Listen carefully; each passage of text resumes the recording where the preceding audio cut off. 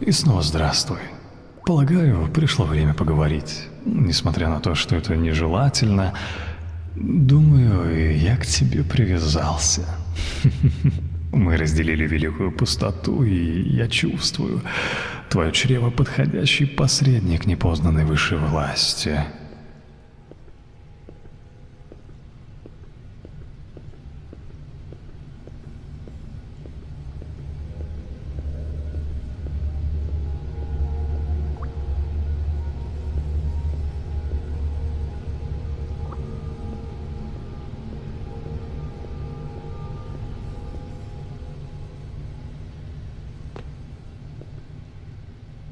Нужно признать и прошу, не обижайся, твои внутренние органы иногда пугают меня.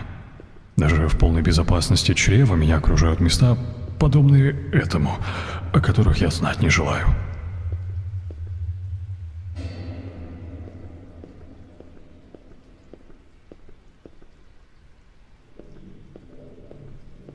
Интересно, смогли бы обитатели собраться в кучу, как крысы, если бы действительно осознали истинную ценность изоляции?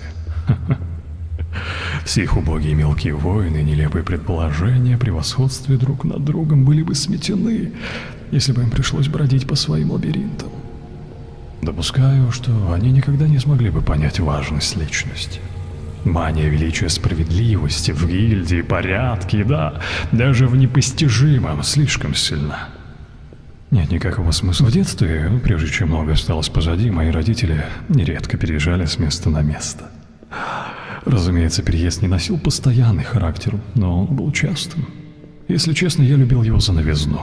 Мне нравилось ощущать себя скульптурой, которой то и дело добавляют глину художник, готовый в любой момент отсечь то лишнее, в чем я не нуждаюсь, постоянно придавая иную форму моей психике.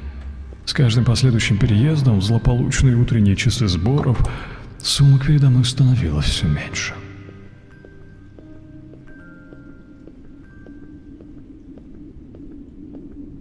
Здесь не место.